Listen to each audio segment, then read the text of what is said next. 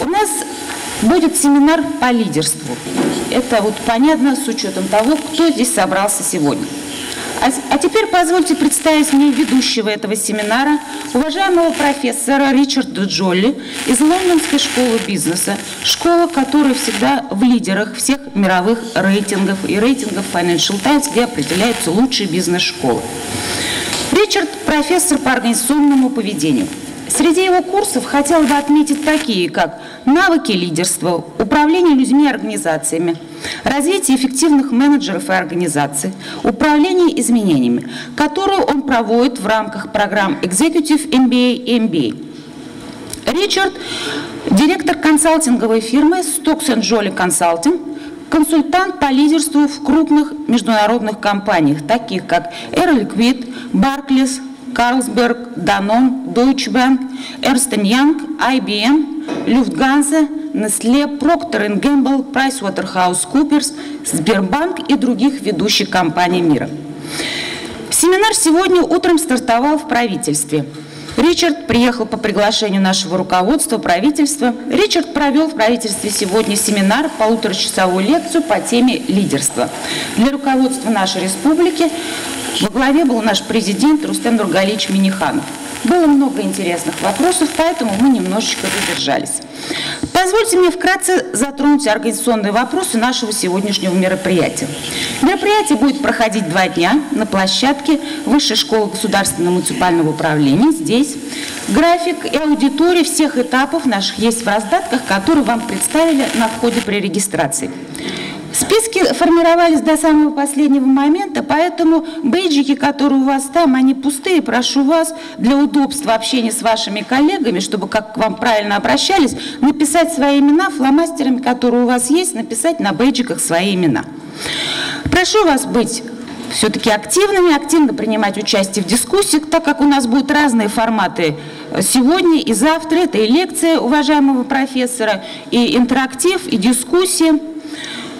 В силу того, что обеспечивается синхронный перевод, прошу вас в процессе общения с профессором говорить не слишком быстро и четко, внятно, чтобы было на более, большей эффективности от нашего общения. Если вы не против, уважаемые участники сегодняшнего семинара, я бы хотела, чтобы по окончании вот полуторачасовой лекции уважаемого профессора мы бы с вами собрались в зале попечительского совета в соседнем помещении и сделали бы групповую фотографию, если вы не против. А теперь позвольте пожелать вам успешной работы, успешной плодотворной работы и передать слово уважаемому профессору Ричарду Джоли. Профессор, I would like to give you the floor. Для меня большая честь быть здесь впервые. Я впервые в Татарстане, но не первый раз в России.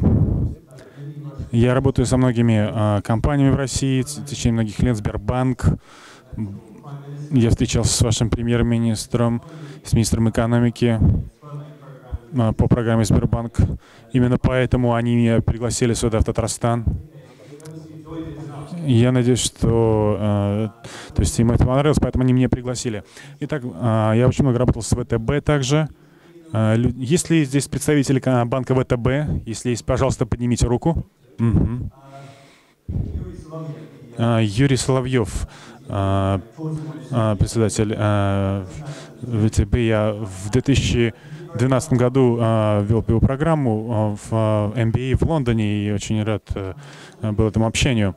Для меня всегда большая честь приезжать в Россию и, и в частности в Казань, поскольку это часть э, России, в которой я никогда прежде не работал. Э, моя цель э, в ближайшие полтора дня сделать все возможное, чтобы это был полезный опыт. А, есть определенная сложность. Я являюсь профессором а, в Лондонской школе бизнеса в течение 17 лет. Главным образом работаю по лидерству, по организационным цепочкам, как вы организуете работу той или иной организации. И я бы с удовольствием вам неделю рассказывал все поскольку эта тема, тема лидерства, тема изменения — это то, что меня поистине вдохновляет. Но я не для того, чтобы говорить только вам. Я надеюсь, что мы сможем сделать что-то а, в виде диалога. Это будет полезный диалог. Несколько вещей, которые я хотел бы упомянуть. Первое. Если у вас есть вопросы в любой момент, пожалуйста, поднимите руку. Я вас увижу. И прерывайте меня, если у вас есть какие-то комментарии, вопросы. Э, меня с этим никаких проблем нет.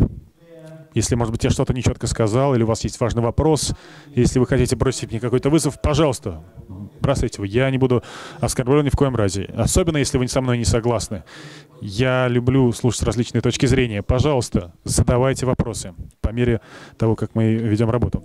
Это очень, надеюсь, что будет очень неформальная сессия и очень интерактивная по своему характеру. Второй момент.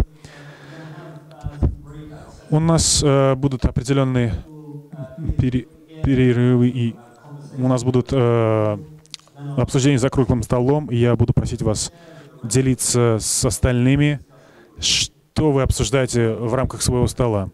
И таким образом постараюсь сделать тоже интерактивно. Какие-то деятельности, какие-то задания будут э, проходить в других залах, и будут э, занимать больше времени, будет более насыщенное, подробное, глубокое обсуждение. Э, хочу, чтобы все было очень интерактивным. Что я хочу подчеркнуть?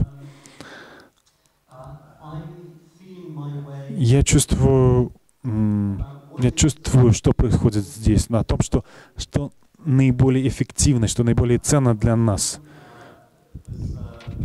Артем кратко рассказал мне, когда мы обсуждали, когда он был в Лондоне в прошлом году.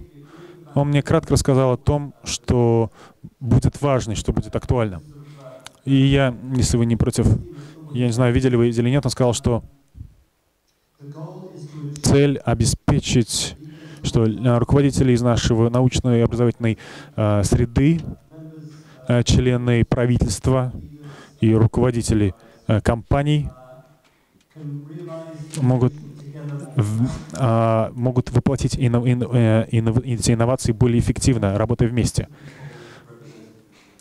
У нас представители самых разных э, сфер и отраслей. И задача, моя задача э, постараться обеспечить, что тот факт, тот, тот, что, чтобы этот опыт был ценен для всех, без исключения. И в частности, один из вопросов, который Артем попросил меня, как стать э, лидером, получить эффективные результаты в любой сфере, как получить сферы в современном э, условиях международной обстановки, я знаю очень мало о Татарстане. И да, конечно, кто, кто знает о регионе, я... И что я могу сделать? Я, я поделиться с вами самым лучшим опытом со всего мира. Вот это я могу сделать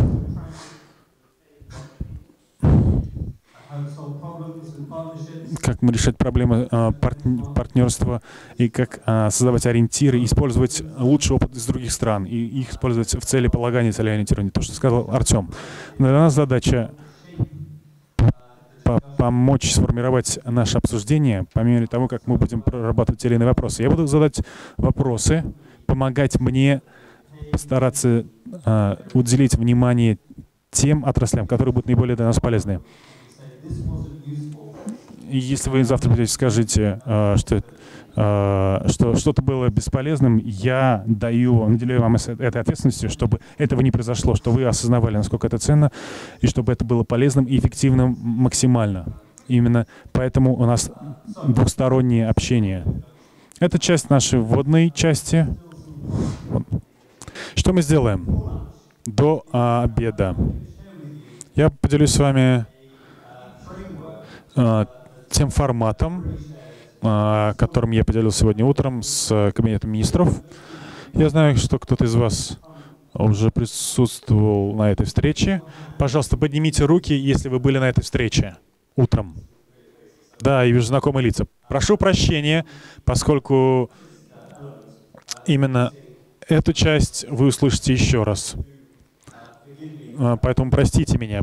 Я надеюсь, что это поскольку то, э, поскольку то, что я хочу начать сегодня утром, говорить о том, что значит быть лидером. А, да, чтобы понимать, работают все технологии. Э, кто здесь сегодня собрался в этой комнате? У меня есть, конечно, список всех ваших имен, но было бы здорово получить представление. Пожалуйста, поднимите руки, если вы часть научного сообщества. Если вы часть а, бизнес-сообщества, представители бизнеса. Если вы представители правительства.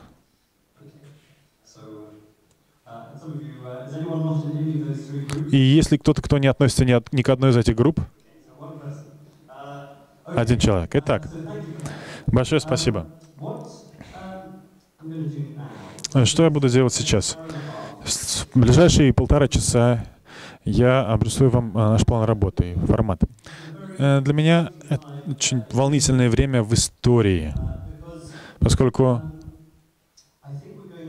я думаю, что мы проживаем сейчас один из а, тех перемен, которые происходят а, с определенной периодичностью.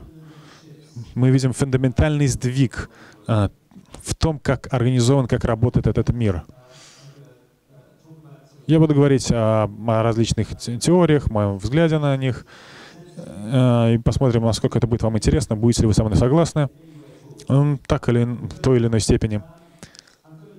Я буду говорить о, что значит быть лидером. Я хочу начать с э, цифры, что называется число Данбара. Это известный антрополог э, Данбар, который провел анализ э, человеческого мозга. И он пытался оценить, основываясь на различных структурах и частях нашего головного мозга, как много активных, стабильных социальных связей а, может справиться а, среднестатистический человек. И являясь частью а, научного общества, он достаточно четко определил это число — 148. Итак, это достаточно четкая цифра. Есть другая группа антропологов, которые провели другой анализ. Они исследовали э, все общества охотников-собирателей, которые э, существуют сегодня в мире. И было порядка э, 9, э, 19 таких сообществ, очень примитивные, по-прежнему, которые охотятся с помощью лука, стрел и копий. И от э, племен эскимосов э, в, в Арктике до э, племен аборигенов в Австралии. И что они измеряли, это э, средний размер этих коммун, этих сообществ. И они обнаружили очень интересный факт. Поскольку где бы ни находились эти э, группы, средний размер а, их сообщества и был одинаковым. И эта ситуация не менялась тысячи лет. Средний размер их сообщества был 148 человек. Такая же, точно такая же цифра.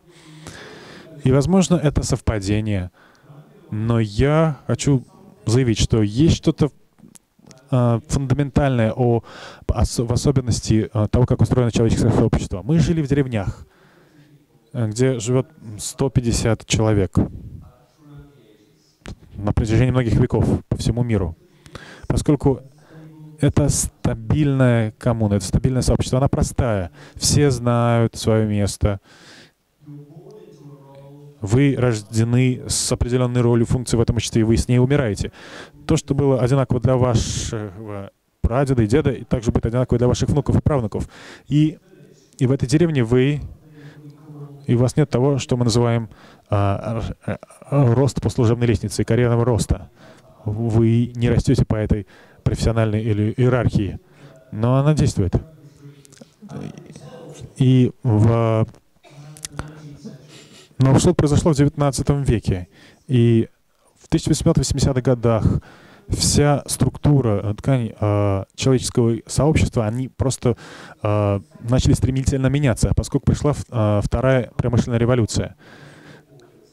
Э, начался рост э, массовых организаций. И неожиданно мы увидели рождение городов. У нас не было городов до э, 1880 года. И было время, к примеру, когда Генри Форд строил свои э, автомобили, модель Т, Форд модель Т, и, и на этом заводе работало 300 тысяч человек, которые выполняли работу на одном и том же заводе. То есть не было никакого руководства, то как координировать деятельность 300 тысяч человек. 148 человек, никаких проблем. А 300 тысяч человек, не было такой книжки, по которой можно было бы организовать работу, пока не нашелся ответ в одной из книг. И эта книга, я бы сказал, что это наиболее самая влиятельная а, бизнес, книга по бизнесу 20 века. Она определила, как работает бизнес.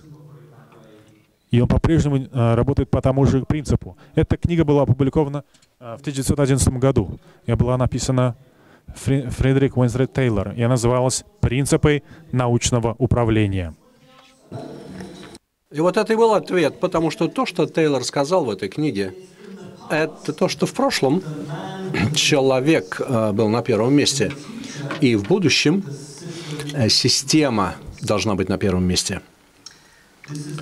Это то, каким образом мы живем сегодня. Мир систем, мир процессов. Э, мир э, массовой стандартизации всего. Как Генри Форд сказал, любой цвет подойдет при условии, что это черный. Преимущество обществу стандартизации системы процессов, эти преимущества безграничны, они огромные. Мы уже не беспокоимся о том, что у нас была еда всегда зимой. Предыдущее поколение мы беспокоились об этом, будет ли у нас достаточно еды, чтобы зиму пережить. Средняя продолжительность жизни увеличилась очень сильно. И мы знаем, а, ну, например, что а, дети, которые э, родились сегодня, половина из них будут жить э, больше ста лет статистически. И э, это огромные перемены, огромный сдвиг международной торговли, а международные путешествия – а каким образом вы э, делаете международные путешествия доступными, таким образом, чтобы обыкновенные люди могли путешествовать? Да вы стандартизируете процессы. Когда я лечил из Лондона в Москву и в Казань, э, были стандартные процедуры. И если вы, э, например, скажете кому-то сто лет назад, что э, за опыт у вас был перелета такого из Москвы, Лондона в Москву, они потому что это научная фантастика. Мы летаем 600-700 миль в час на высоте 11 километров в этой запечатанной алюминиевой э, цилиндре. Ну, люди бы нам не поверили. А в настоящее время э, воздушное путешествие один из самых безопасных способов путешествия. Э, более безопасно лететь в самолете, чем перейти через дорогу. Э, ну, даже ехать на машине за рулем более опасно, чем лететь на самолете. Каким образом вы это делаете более безопасно? Вы стандартизируете процесс. У вас есть ремни безопасности, которые вас заставляют все время пристегивать. У вас есть специальные процедуры у вас есть специальный процесс обработки билетов, электронный, все стандартизировано. Э, это очень полезные вещи упрощающие жизнь. И это наша современная жизнь. У нас есть эти системы, процессы. Это научный а, менеджмент, то, что к этому привело. А каковы же преимущества этого? Какая польза от этого? Но одновременно я бы хотел сказать о том, что есть, а, есть очень серьезный недостаток, фундаментальный недостаток, большая проблема того, каким образом большинство бизнесов сегодня управляются. И эта проблема а, будет только возрастать, только увеличиваться. И это не новая проблема. Эта проблема э, еще была во времена Генри Форда, потому что даже во время жизни э, Генри Форда э, компания Ford, как компания, потеряла свою доминирующую позицию на рынке. А, потому что появился очень другой бизнес, а, который назывался General Motors. И компания General Motors управлялась на протяжении многих лет а, очень э, хорошим лидером которого звали Альфред Слоун. И Альфред Слоун, я бы рассчитал его отцом современного менеджмента. Потому что то, что Слоун сказал, было совершенно другое. Он сказал следующее. Э, есть забавная вещь одна у нас в General Motors. Мы платим за руки, мы платим за физический труд. Мы можем э, продукт работы головы, умной головы, получить бесплатно. И с тех пор, с 1911 года, организации борются с этим вызовом. Каким образом? Заставить людей, чтобы они заботились об организации, для того, чтобы люди делали больше того, что формально они должны делать по своим обязанностям. И а печальная правда заключается в том, что мы терпим неудачу. Если мы будем использовать жаргон или выражения, которые в организации сейчас используют, мы говорим о так называемой вовлеченности сотрудников, причастности сотрудников. И причастность сотрудников меряется тем, каким образом люди заботятся и переживают за организацию. Будут ли они будут делать большим того минимум, который от них ожидают, будут ли они своим друзьям рекомендовать в этой компании, в которой сами работают. Есть пути и способы этого измерить, но это очень э, ценная э, вещь, измерить вот это все. Потому что что показывает э, исследование, то, что высокий уровень вовлеченности – это большая прибыльность на более долгий период времени, это устойчивая прибыльность компании. Они прямо, эти показатели связаны с вовлеченностью, степенью вовлеченности сотрудников. Проблема заключается в том, что когда вы смотрите на организации по всему миру, и то, что вы находите, это то, что половина сотрудников, которые мы изучали, они э, находятся в активном поиске другой работы. Они не хотят работать, где они сейчас работают. Они предпочли делать что-то другое, где-либо в другом месте. И э, порядка 75%, и одно исследование показало, 77% даже э, сотрудников активно а, ну, так сказать, сопротивляются работать, что ли, то есть они просто, им безразлично то, что происходит на работе. Вы тут про всякие разные, тут ваши великие планы рассказываете. Для них это просто ерунда всякая. Они говорят, да, да, да, давай, давай, рассказывай. Короче, все, давайте, деньги платите и все. А я сказал то, что от меня требуется, деньги давайте, гоните. И вот это то взаимодействие, которое происходит э, на рабочем месте очень часто. И все больше и больше мы видим то, что эти организации, они терпят неудачу. Потому что эти организации, они э, сталкиваются с большим количеством проблем. И что мы видим, еще раз, международные данные, которые показывают, может быть, у вас в Татарстане по-другому здесь у вас, но, может быть, это, я вам скажу то, над чем надо поразмышлять, о том, что средний жизненный цикл организации становится все короче и короче с 1992 года. Больше половины э, первой пятерки бизнесов Соединенных Штатов исчезли. Это происходит все быстрее и быстрее. Если вы думаете, что у вас есть устойчивое конкурентное преимущество, и в, в вашей организации, в вашем университете, ваш Э, правительстве это есть очень большой риск того, что вы сделаете большую ошибку. Я вам примеры приведу, и позже я вам приду еще другие примеры. Организации, которые думали о том, что они несокрушимые. Мы здесь уже 200-300 лет проработали, но, э, к сожалению, они утратили это свое преимущество. Это происходит все быстрее и быстрее, чаще и чаще. И в этом взаимосвязанном международном технологическом мире эти компании просто исчезают. И что я хочу сказать сегодня еще раз утром, это, а, ну, во-первых, почему это происходит, и второе, это что с этим делать.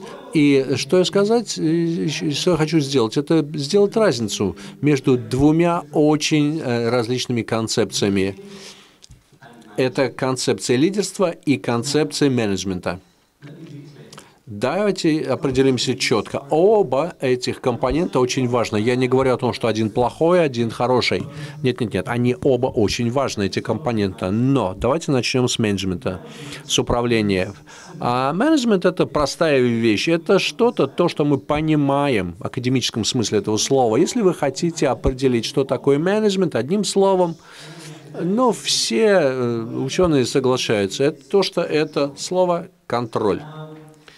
Э, если вы делаете грузовики или вертолеты, если вы в сельхозбизнесе находитесь, если вы управляете университетом или правительством, везде вы э, нуждаетесь в контроле.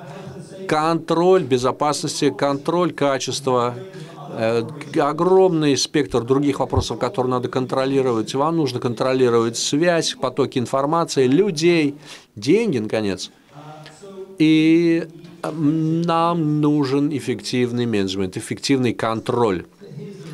Но вот в чем э, реальность заключается. Сегодня по всему миру по различным причинам большинство э, бизнесов хорошо управляются. Я помню, когда я был ребенком, еще э, некоторые машины были надежными, некоторые машины не были надежными. А может быть, они были дешевыми, доступными, но не были надежными. Сейчас каждая машина, каждая новая машина, которую вы покупаете, она ну, более-менее надежная.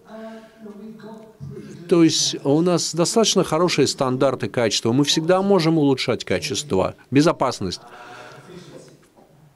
эффективность, но это не то, что определяет величие компании и, и те компании, которые сейчас появляются по всему миру. Более того, вы можете даже сказать, что большие, великие компании, выдающиеся компании, они все очень другие. И я могу сказать, что многие компании ну, законтролированы, э, но там не хватает лидерства – а, поэтому мы будем говорить сегодня о лидерстве. И лидерство – это довольно сложная концепция. А, ученые не согласны по вопросам, какие должны быть определения. 100 э, публикаций прочитайте по поводу лидерства, там будет 80 разных определений. Вот почему мне это нравится. Потому что это не простая академическая концепция, это достаточно сложная неупорядоченная, но она очень-очень важная категория лидерства. И если мы попытаемся все свести к одному слову, то вот что я бы хотел использовать. Это слово лидерство равняется убеждению. Давайте я вам дам более точное определение. Лидерство – это ваша личная способность убеждать окружающих, чтобы они хотели последовать за вами. Это ваше личное, личное качество убеждать, э, способность убеждать других. А, э, давайте я еще раз объясню, что я имею в виду. Первое, что я хотел бы сказать, это то, что лидерство – это не процесс, это взаимоотношения. Вы не можете быть лидером а, без последователей. Более того, вы можете даже сказать, что а, лидеры создают последователей. Вы можете сидеть э, за своим рабочим столом с кучей всяких фантазий, думать, какой вы вдохновляющий руководитель, но вы будете настоящим лидером только в том случае, если люди начинают двигаться, координировать свои действия, и если вы говорите, давайте пойдем в том направлении, вот в этом, и люди тут же идут за вами. Лидеры создают последователей. И поэтому это взаимоотношения. Они должны следовать вам. Но проблема, которую мы обнаруживаем, это то, что хотят ли люди идти за вами. Из-за того, что мы больше и больше обнаруживаем, что люди мобильны, и наши, ваши лучшие работники – это самые мобильные работники. Если им не нравится что-то, они чем-то недовольны, они могут уйти. И э, более того, один из вопросов э, и проблем, которые у нас есть, каким образом привлекать лучшие таланты вашу организацию? каким образом привлекать лучших выпускников из лучших университетов для того, чтобы они либо остались в университете и никуда не уходили, пришли в правительство, ушли в бизнес и там остались. Как привлечь? Вы говорите, а ну-ка давайте все к нам. Они зададут вам вопрос, а с какой стати я должен у вас работать? Почему? Каким образом вы отвечаете на этот вопрос? Но вот это и есть проблема для лидерства. Я уверен о том, что то, каким образом вы привлекаете лучших выпускников – это не тем, что вы говорите, у нас отличные системы и процессы. Этого недостаточно. Это вопрос, касающийся лидерства. Когда кто-то вас спрашивает, почему я должен следовать за вами, почему я должен вступить в вашу организацию, а ответ заключается в том, насколько вы убедительны, потому что у людей же есть выбор. То есть привлечение талантов – это талант лидера. Но еще более важный талант – это удерживать эти самые таланты. Потому что, как я вам и сказал, ваши э, работники, они мобильные. Хорошие работники могут уйти куда угодно. И если люди будут жить сто лет, как мы предполагаем в будущем, у людей может быть большое количество разных карьер в течение жизни. Более того, а я уже говорил сегодня утром об этом, это есть поколение, которое сейчас вступает в трудовую жизнь. Это очень часто их называют э, поколение миллениум, поколение тысячных годов. Ну, наверное, тут у нас по возрасту вы уже Э, не этого возраста. Обычно этим людям чуть меньше 25 лет. Но наверняка у вас эти 25-летние уже есть или на работе, или дома, или в семье. И там есть э, проблема, потому что они от нас отличаются. И это удивительно, потому что мы видим это по всему миру. Я не говорю, что это здесь происходит обязательно в Татарстане. Но вот я недавно работал в Китае, и там это поколение э, молодых людей, а у них там настоящий взрыв населения там 160 миллионов людей этого возраста, 25-летних, и они отличаются от своих друзей, от своих родителей. Э, извините, э, например, у нас в Лондонской школе бизнеса а, исследование показывает о том, что это поколение, они не будут работать в одной и той же компании более двух лет на протяжении своей карьеры. А я 17 лет работаю преподавателем, до этого я работал в консалтинге, а до этого я 3 или 4 года проработал в промышленности. И после моей первой степени, которую я получил, я поступил в очень хорошую компанию, которая меня наняла на работу, и я думал, что я останусь всю жизнь в этой компании, буду расти по служебной лестнице, и это был мой план. Найти хорошую компанию, самую лучшую, вступить в эту компанию и работать до тех пор, пока я уйду на пенсию или стану самым большим начальником, или то и другое. И, собственно, и все. У меня не было никакого плана особого карьеры. Однако это новое поколение, оно очень нетерпеливое. Если они не чувствуют о том, что они растут и развиваются, они создадут проблему вам и зададут вопрос, а какой план моего роста, моего развития? И даже более пугающий вопрос.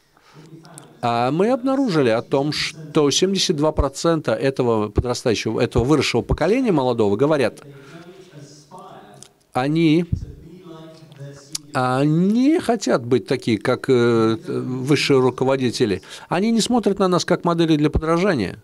Они не хотят следовать по нашему пути. А мы смотрели на предыдущие э, поколения, и если я а, работаю хорошо, э, я могу быть как, как вы. Сейчас ситуация очень другая, и на форуме в Давосе а, я был просто поражен двумя различными группами. А у вас там порядка две с половиной тысячи бизнес-руководителей, политикам на этом форуме со всего мира приехали. И большинство руководителей, э, ну, где-то им 50-60 лет, и, а потом была другая группа, а, которая называлась э, группа молодых глобальных мировых лидеров. Им всем было до 30.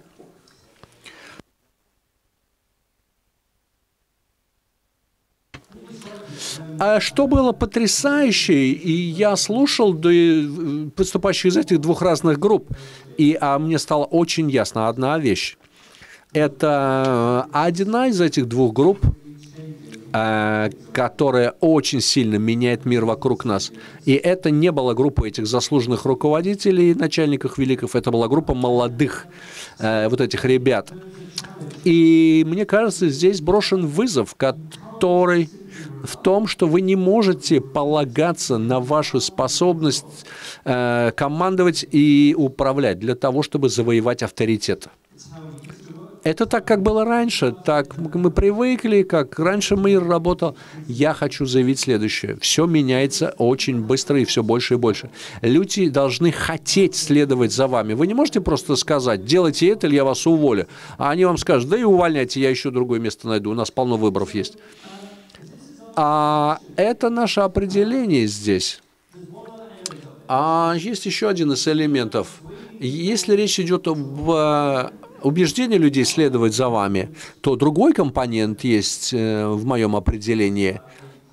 Это вопрос личных способностей.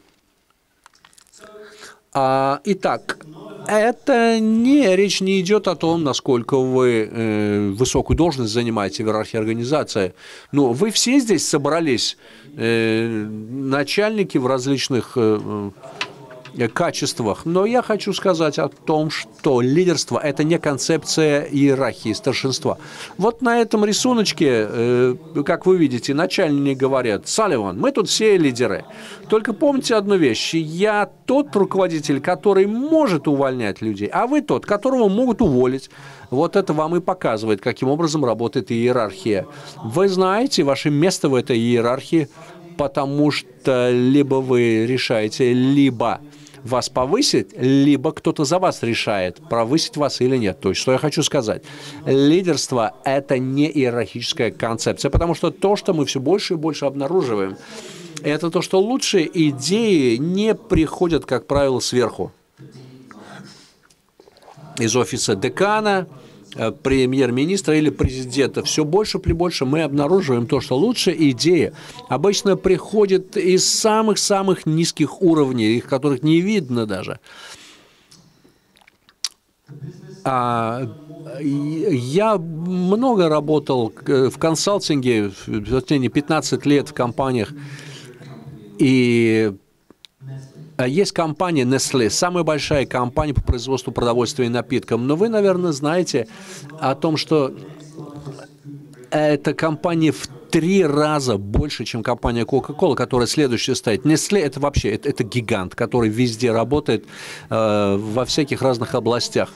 И центральный офис Nestle головной находится в крошечном городишке в Швейцарии очень красивая, чуть ли не деревенька на берегу э, озера Лемо. А городок называется Вавей. А вы не были, наверное, в этом городке Ваве? Это потрясающе красивейшее место в мире – у вас там красивые альпийские вершины, покрытые снегом прямо за вами, и есть шикарное озеро прямо перед вами. Вы окружены виноградники, которые делают одни из лучших швейцарских вин, красивые дома, ну а воздух чистейший, вы просто чувствуете это ощущение покоя. А, а, руководитель Nestle э, был человек, которого звали Пол Болка. И когда вы встречаетесь с Полом Болка, все а, находится под контролем. Его команда будет работать с вами заранее по поводу вашей повестки дня, кого вы посетите. Если вы используете какие-то материалы определенные, они все проверяются, ваше все, все структурировано, чтобы быть уверен, что вы ничего там лишнего не скажете. И к тому времени, когда вы идете уже на эту встречу, на это совещание, гарантированно, что Пол Болка – а не узнает толком, что на самом деле происходит. И когда он смотрит из окна на это красивое озеро, это человек, который оторван от реальности. И, ну, например, когда вы путешествуете по миру, потому что ну, вы должны путешествовать, он едет в различные части мира, и он хочет, например, сходить в супермаркет, посмотреть, какие там продукты Nestle есть на полках – и э, есть шутка по поводу Nestle, когда начальник говорит, а почему супермаркеты всегда пахнут свежей краской? Потому что они за 6 месяцев знают о том, что руководство Nestle прибывает, и поэтому все это время они все время все вытирали, протирали, красили, чтобы все было идеально, все продукты. И он приходит, все красиво, все так замечательно. Он оторван от реальности. Потому что каждый раз, когда начальник говорит, будьте честными со мной, что я делаю, а, люди врут вам. Мы сегодня пошутили с вашим президентом по этому поводу. Никто не говорит ему правду о том, как э, он ведет дела. Но никто не скажет вам правду о том, что вы делаете. Все вам врут. А как же вы ведете? Как вы, вы проводите свою работу в своей части организации? Они тоже вам лгут. Они говорят, у нас все прекрасно. Все по плану. У нас есть проблемы, у нас все под контролем. Но они вам просто лгут. Что происходит? Когда мы близки к власти, все очень осторожны. Они политичные, они очень а, следят за тем, что они говорят, поскольку они не хотят навредить а, своей перспективе в будущем. Но что происходит в организации? Это всегда находится далеко от э, офиса руководителя. И Nestle, то, что происходит, и лучшие идеи, они не приходят от ВУВ, они приходят из этого, из такого далека, из э, офиса Пабулка. Поскольку вы находитесь, если вы находитесь в местном офисе и пытаетесь продать что-то, и, и мы, говорим, мы хотим, говорит, мы хотим это купить вместо этого, и, возможно, мы вам можем помочь, и вы пытаетесь внедрять инновации. И это вызов, это проблема, которую нужно решить, когда вы пытаетесь внедрить инновации. Инновации всегда начинаются с э, низших уровней организации. Я приведу вам пример, как это работает. Я разговаривал с руководителем, а, а, руководителем а, по производству компьютерных игр, и он мне сказал, Ричард, я просто, я потерял связь, я не чувствую ситуации. Я не знаю, какие игры хотят дети сегодня. И я точно не знаю технологии, которые нам необходимо разработать, чтобы создать такие игры. И моя задача как руководителя всей ну, цепочки менеджмента создать среду, в которой а, люди, входящие в состав организации, могут принести какие-то изменения. И 17 лет я веду курс по э, изменение менеджмента в Лондонской школе бизнеса. И когда я получил этот курс э, 17 лет назад, все было связано, как, как стать Джек Уэлшем, как ввести, э, организовывать трансформацию и с, из офиса руководителя, директора. И сегодня есть немножечко что-то похожее отчасти, но практически все, что мы преподаем, то же самое справедливо для Гарварда и Линда Хилл, и а, и она говорит то же самое. Все это связано с а, руководством, с лидерством с низших слоев. Лидерство — это не иерархическая концепция по своему определению, поскольку что мы определили? Это великие компании, которые появляются по всему миру сегодня. У них есть одна общая черта. Она не, и она не связана с одним великим э, лидером, который венчает эту иерархию. Э, в 30-е годы это была модель, которую преподавали бизнесменам. Великий человек, э, который стоит у руля, и он ведет всех за собой. И это не работает больше. Великие организации, которые появляются сегодня в мире, они не полагаются на один мозг. Вот это у них, и это их роднит. Люди у руля имеют четкое понимание, куда мы движемся. И каждый в организации понимает это. И каждый в организации чувствует, что они могут решать задачи, чтобы они могут сделать что-то, чтобы помогать организации реализовывать свои амбиции, достигать чего-то. Все. Если вы этого не делаете, и у вас будет определенное конкурентное а, отсутствие конкурентного преимущества. Да, это, да. А, цикл, жизненный цикл организации становится короче, все короче и короче. И я приведу пример, который иллюстрирует это. А, компании, которые, а, которые доминировали на рынке много, много лет. Я думаю, что в Татарстане четко есть очень сильные сектора в самых различных отраслях. Те, кто мне ответили, спасибо большое за, ваш, за ваши комментарии очень сильная подготовка а, производстве вертолетов, в сельскохозяйственном секторе, производстве а, грузовиков и в многих других областях. Но, к сожалению, история успеха не гарантирует вам успеха в будущем.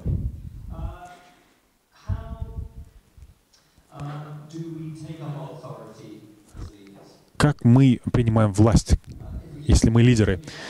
Если э, лидер связан с нахождением последователей, как э, мы, что мы можем сделать, чтобы люди пошли за нами с большей вероятностью? Я хочу вам предложить пять рецептов, шесть рецептов, что вам необходимо исполнять исследовать, э, которым, исследование которым позволит вам стать эффективным лидером. Я не могу сказать, что это единственный э, составляющий э, лидерства.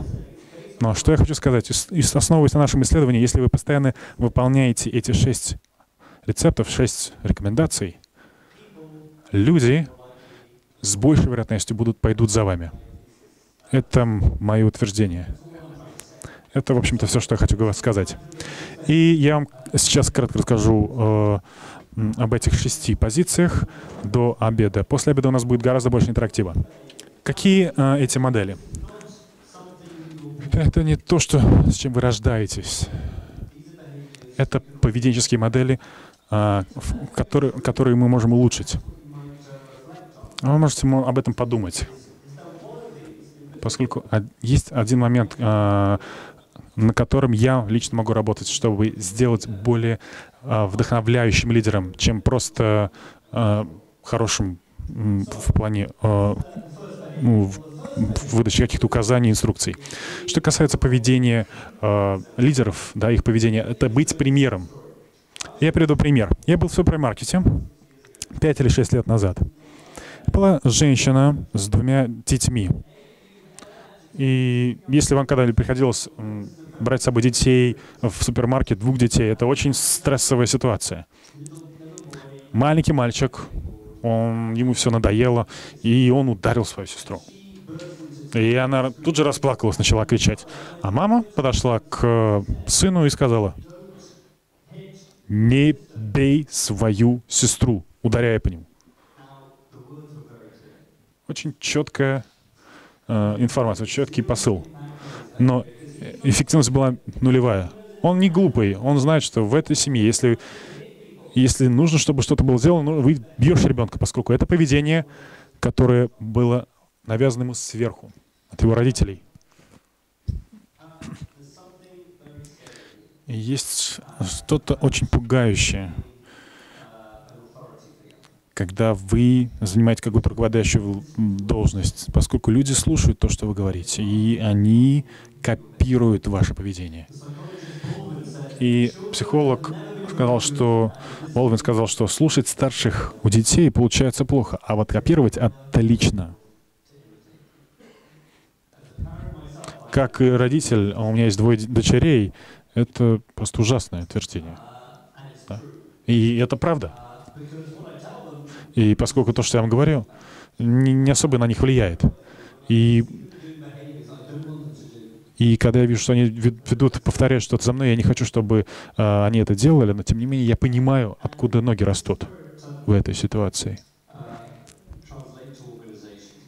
И то же самое применимо к организациям, поскольку в организациях есть старшее руководство, которое они, их поведение определяет культуру всей организации.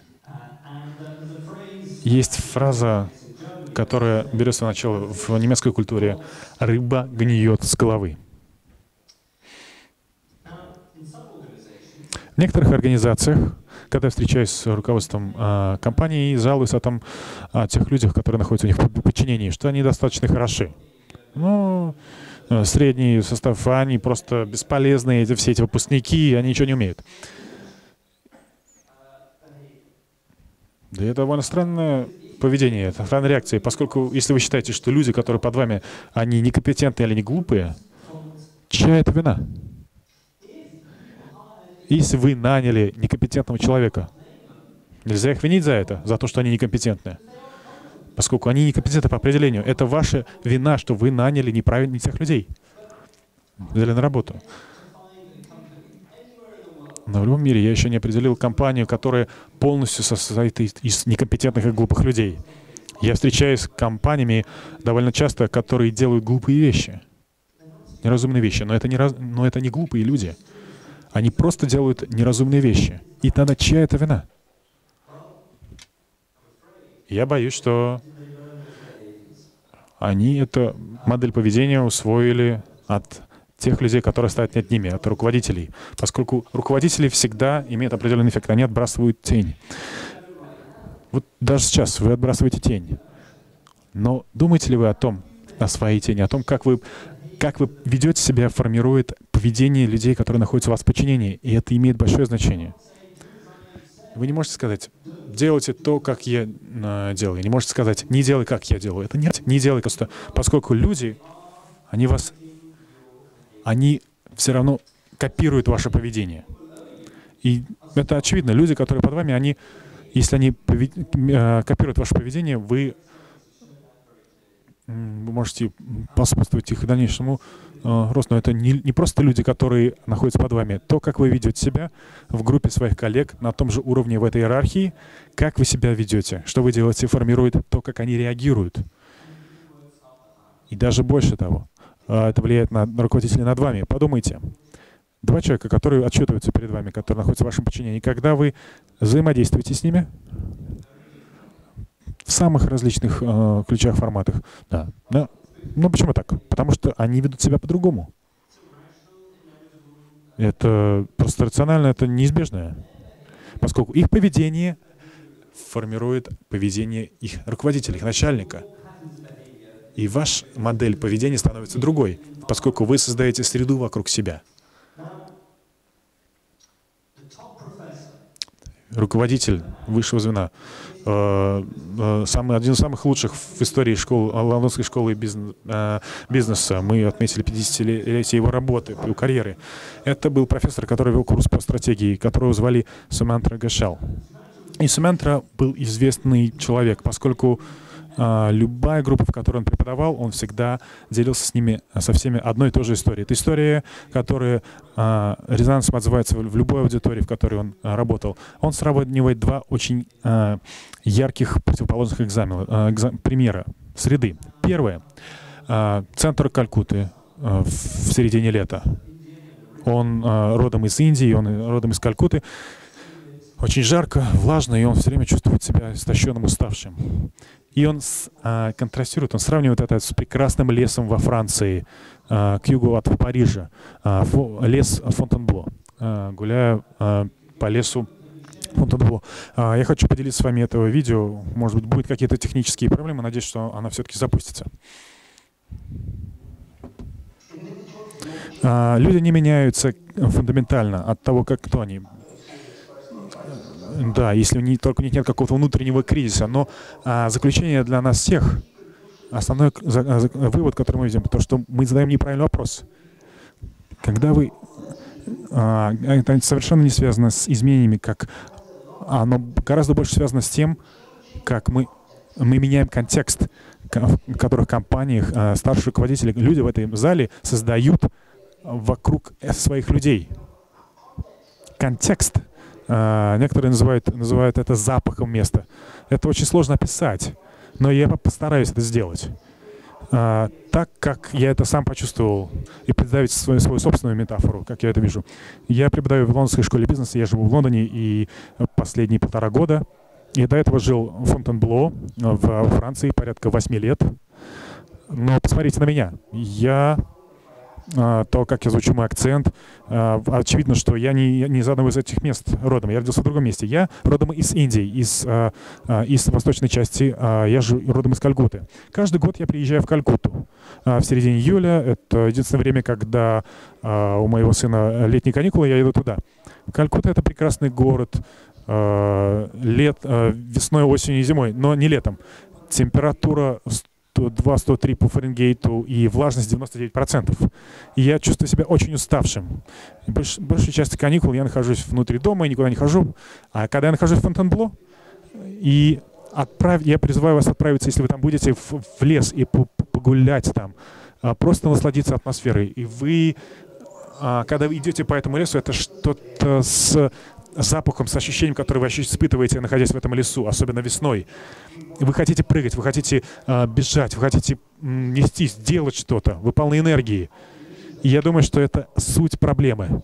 Большинство компаний, а, в частности большие компании, создают внутри своих компаний вот эту летнюю калькуту, когда очень жаркая, душная среда. И они жалуются, что и они принимают инициативу, не идут на сотрудничество, не хотят ничего менять но это не связано с сомнением меня. У меня много энергии, в частности, весной в Фонтенбло.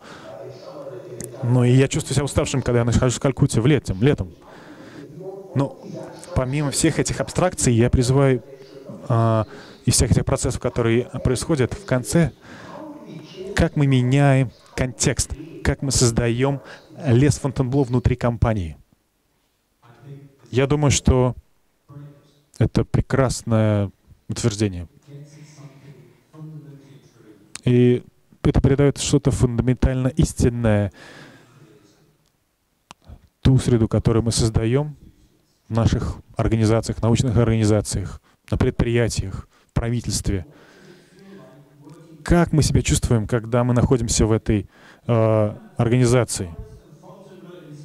Когда вы чувствуете этот воздух Фонтенбло весной, э, вдохновление, страсть, энергия. Так вы себя чувствуете, находясь в этой организации? Вечером в воскресенье Какое настроение у ваших сотрудников?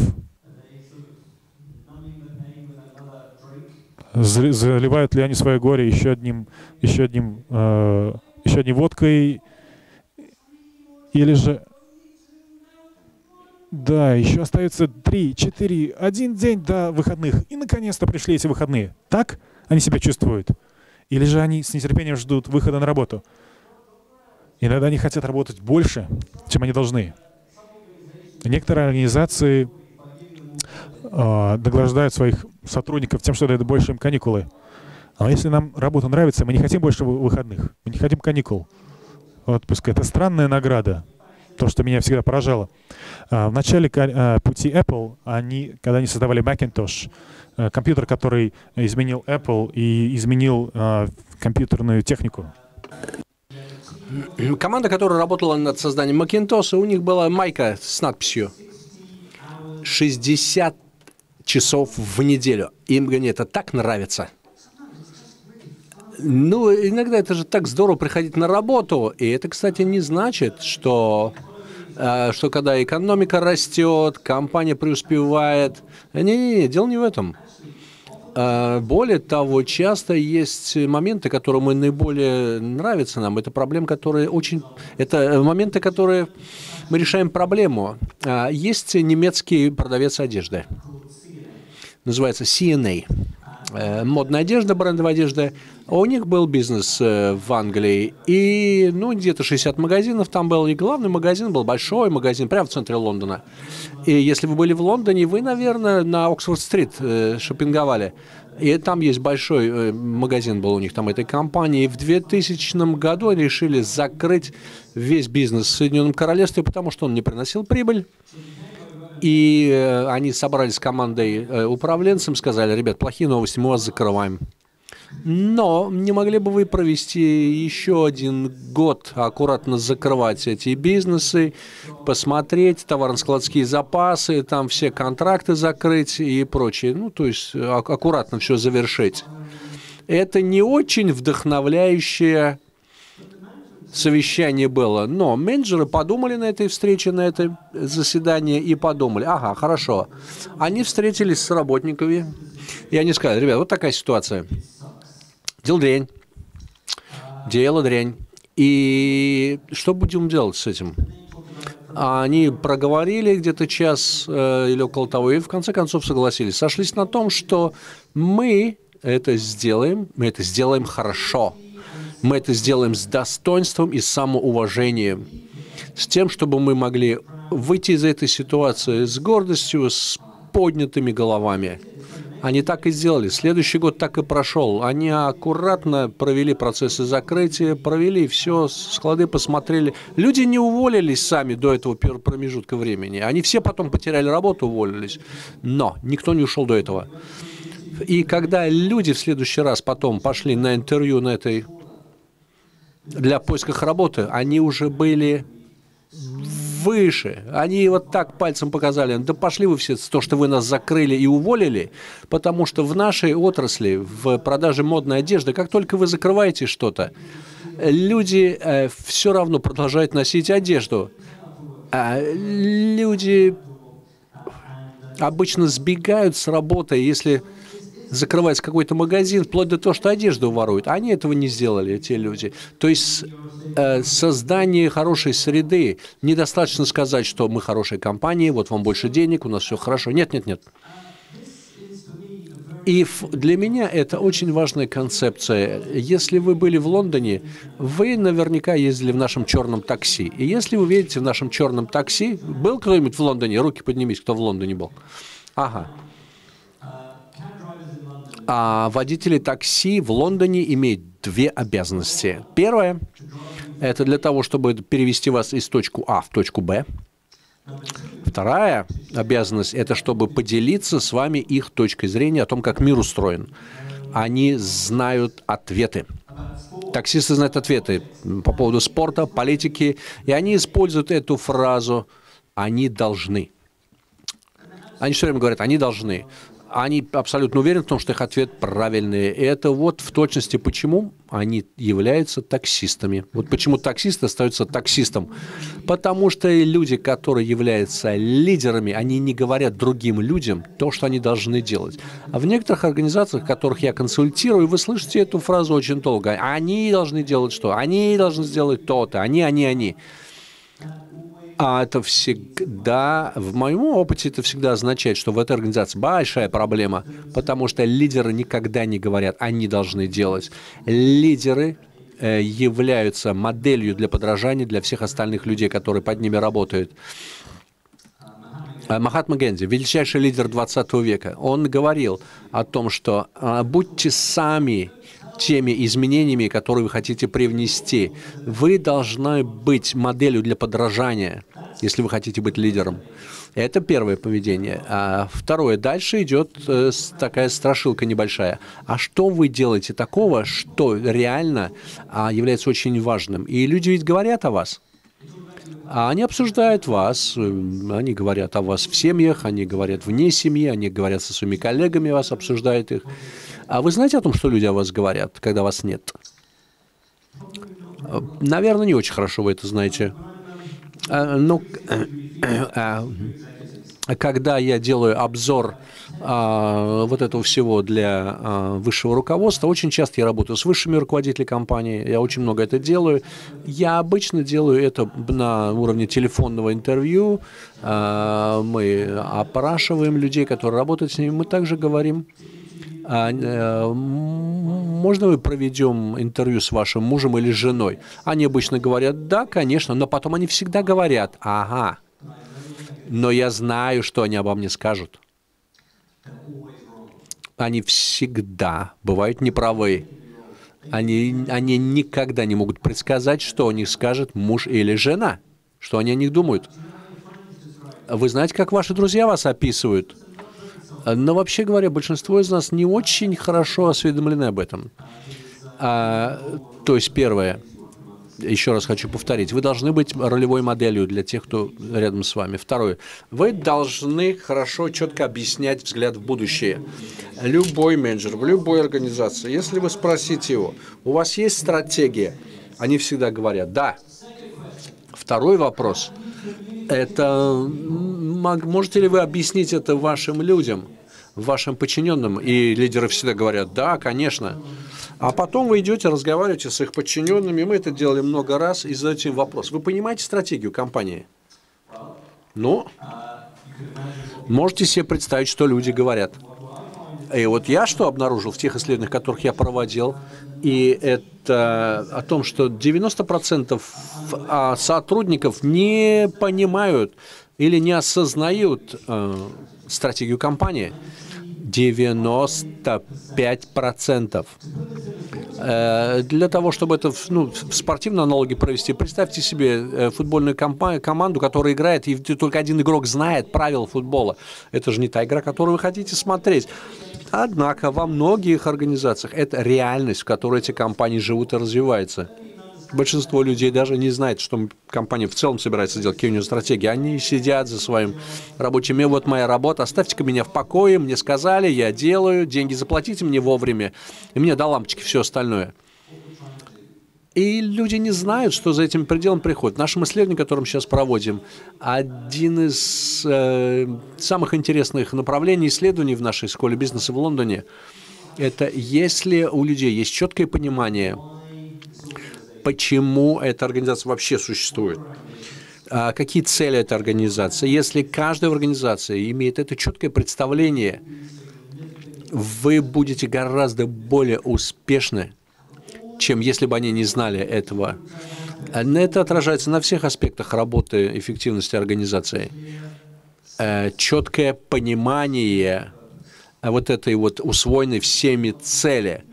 И это гораздо большую роль играет, чем что-либо вообще. Это потрясающее исследование, которое это показывает.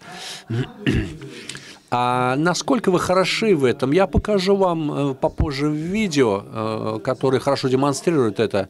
Но, как Джек Уолч сказал, любая идея, которую вы представляете, она должна быть настолько простой, которую вы могли бы быстро объяснить за пару минут любому незнакомцу во время а, коктейля, во время вечеринки. Если я вам задам вопрос, что вы делаете в неформальной атмосфере, то вы должны в вашей э, роли, к чему вы с такой страстью относитесь, что вы очень любите в своей работе, каковы ваши цели. А вы же должны мне что-то сказать в ответе на этот вопрос. И если вы говорите, а, да сижу, просто работу свою делаю, надеюсь, что ничего не изменится, то неважно что, а, да, я сижу, ничего не вижу, ничего не слышу, мне ничего не волнует это очень опасная организация. Ситуация имеется в виду в организации. У вас же есть цели. Каждый, каждый, каждый э, сотрудник, я уж не говорю о руководителях, а, у всех есть что-то, а, какие-то представления о будущем и что можно сделать лучше. У нас у всех же есть такие идеи того, каким образом можно изменить мир к лучшему. Вы можете сказать вам, какие ваши идеи, но вопрос заключается в том, что а знают ли люди о ваших идеях? Если я э, спрошу ваших подчиненных э, такой же вопрос, а, ответит ли мне то же самое? Ответ, скорее всего, нет. То есть объяснение, э, я вам это еще больше объясню чуть попозже. Третий вопрос, о котором мы говорим, это ощущение ситуации. Это способность, вот это почувствовать то, что люди вокруг вас э, думают, что они чувствуют, это своего рода искусство, которое исчезает. Некоторые люди просто великолепны. Э, люди, которые работают в продажах, они очень хорошо чувствуют, глянут вам в глаза и понимают вас сразу. А они вам быстренько объяснят, расскажут для того, чтобы за нужные ниточки потянуть в разговоре с вами. А люди, которые в торговле, которые правильно цену устанавливают для того, чтобы затянуть вас эту сделку, и в то же время не прогадать с ценой. Переговорщики э, по разным вопросам имеют эти качества развитые. Это способность знать то, что другой человек чувствует и видит – но это не только о касающихся э, отношений один на один. Если вы заходите в группу, в, в, на совещание, в комнату, где собрались люди, вы должны почувствовать настроение. Если вы делаете презентацию, вы должны почувствовать, как люди реагируют, как они смотрят на вашу презентацию. И э, это не просто в аудитории и вообще вокруг вас, вокруг вашей организации. Если вы в различных зданиях, в другом городе, может быть, даже в другой стране находитесь, что люди думают, что люди чувствуют. И для того, чтобы быть способным делать это, вам нужен набор инструмента, эмоциональных инструментов, эмоциональные антенны у вас должны быть вот такие – вот эти вот антеннами вы должны чувствовать, что вокруг вас происходит. Проблема в том, что в современных организациях вот эти наши антенны отмирают, потому что есть болезнь одна среди нас, которая нас всех поражает. И позвольте мне поделиться с вами некоторыми симптомами этой болезни. И, может быть, несколько из вас, сидящих здесь в комнате, имеет симптомы этого заболевания. И э, болезнь это, симптомы я называю, это симптомом торопышки, который вечно торопится куда-то. И вот они. Первое, если вы что-то разогреваете в микроволновке на 30 секунд, а у вас есть такое сильное желание, ну что-то за 30 секунд успеть что-то сделать. Чего же я жду-то 30 секунд трачу? А если у вас есть желание, например, куда-то сесть на самолет, и вы бежите, пытаетесь сеть, что-то мне тут с переводом куда-то тут по памяти я тут эти слайды сейчас. Ага, порядок у нас правильным здесь идет. А, по-русски тут, извините, если я что-то тут перепутываю, не в том порядке выдаю вам. А, на третьем что там написано? Ага, да-да-да-да-да, Наталья, спасибо, что подсказали. А, делать что-то во время движения, во время вождения машины, то ли радио слушать, то ли по телефону говорить, то ли даст завтрак доедать, пока за рулем едете. А когда вы проверяете свою почту, э, сидите за вашим рабочим столом, и иногда во время ланча на, на телефоне висите, еще есть что-то, сразу несколько дел в одно время пытаетесь сделать. Следующее. Вы делаете еще что-то, например, даже когда зубы чистите. А, в, когда вы в пробке находитесь, вы сильно раздражаетесь, вот выводит из себя, когда люди впереди вас находятся, вы постоянно проверяете свой смартфон, что у вас там такое. А более того, сотовые телефоны э, и смартфоны – это прекрасное устройство, но, опять же, исследование, которое я провожу, 95% руководителей говорят о том, что переписка выходит из-под контроля вообще, коммуникация. 90% и 80% руководителей первое, что они делают, когда утром просыпаются, вообще с кровати еще не вылез. Они хватают телефон и проверяют, что там творится. И последнее, что они делают перед тем, как уйти спать, это проверяют, что там в телефоне. И мы связаны с ним постоянно. Некоторые даже а, свою почту проверяют на выходных, работают. Даже в отпуске работают с перепиской. Э, более того, это становится, э, ну, я так считаю, что это, ну, как заболевание самое настоящее.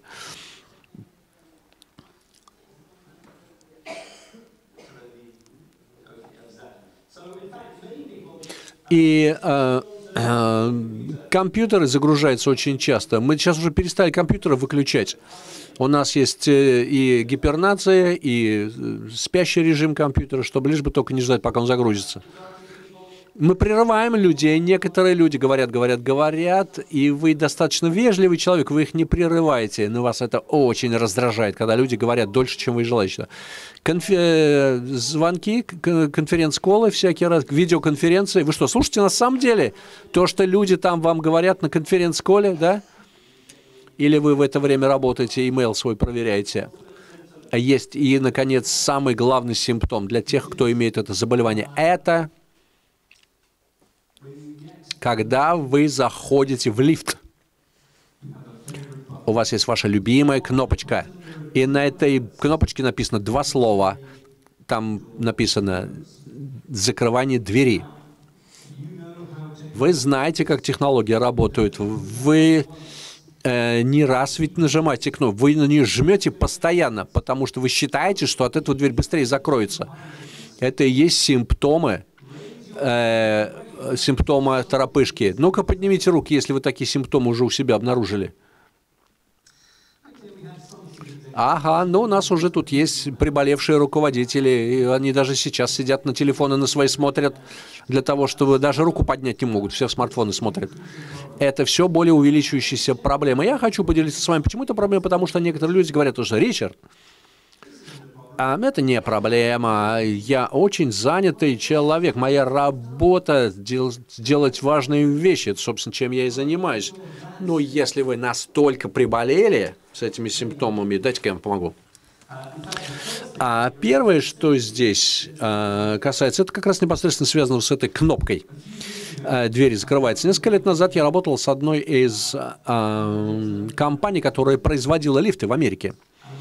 И я помню, один из директоров компании сказал, Ричард, это для нас это такая головная боль, это кнопка. Это очень дорогая тенденция в последнее время. Она нам в копеечку влетает. Люди постоянно эту кнопку нажимают, жмут на нее без толку. И кнопки эти ломаются настолько часто, что нам приходится менять их постоянно. Но он сказал, но юмор-то в том заключается, о том, что люди не, люди не понимают одной простой вещи, о том, что примерно половина этих кнопок в мире, в лифте, они вообще ни к чему не, не, не подсоединяются. Более того, они их называют механическое плацебо, механическая пустышка.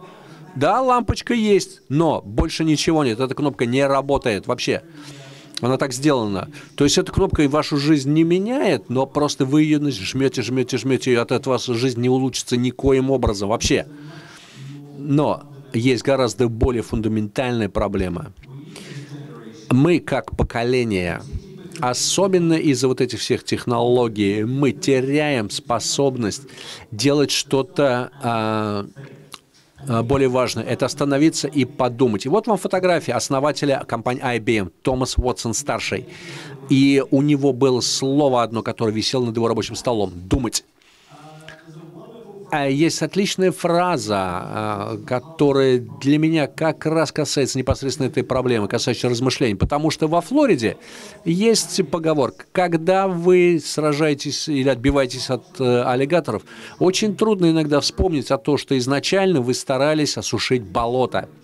Блестящая фраза, потому что если наша цель осушить вот это болото, а для того, чтобы мы там что-то могли построить, и у нас вот это классическое флоридское болото во Флориде, Эверглейды, но проблема-то там в том, что там есть аллигаторы, если они на вас нападают, вам же обороняться надо.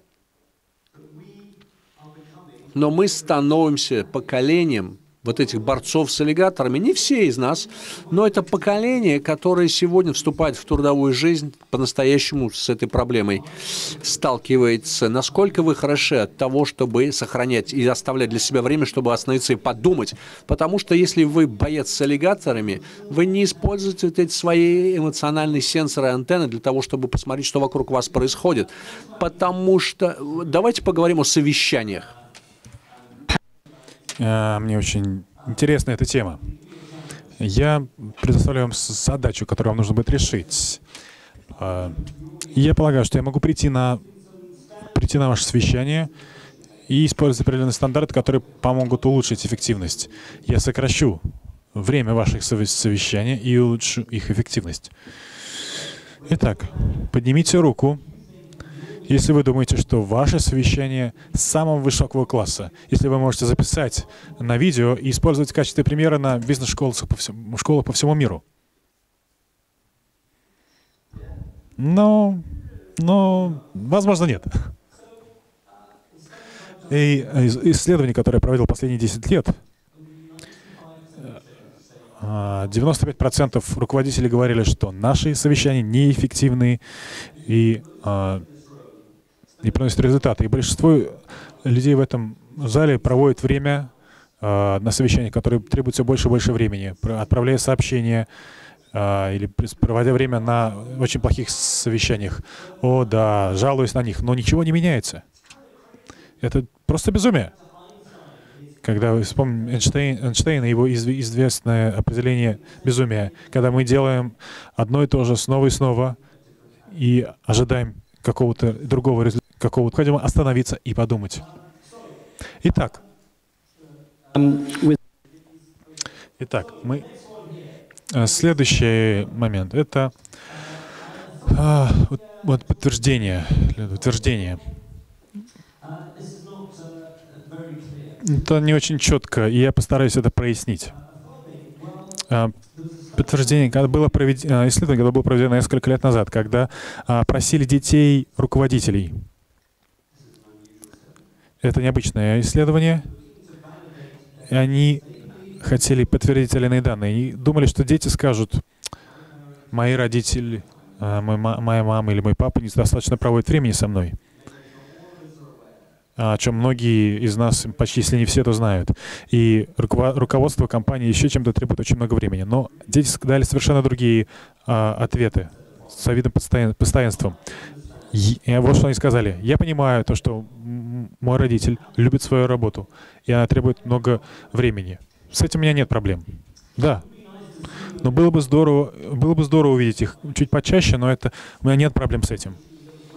Но самое главное, что меня беспокоит, то, что когда родители находятся со мной, проводят время со мной, я хочу, чтобы они были полностью со мной, поскольку я тогда осознаю свою значимость то, что меня ценят, я что-то значу для них.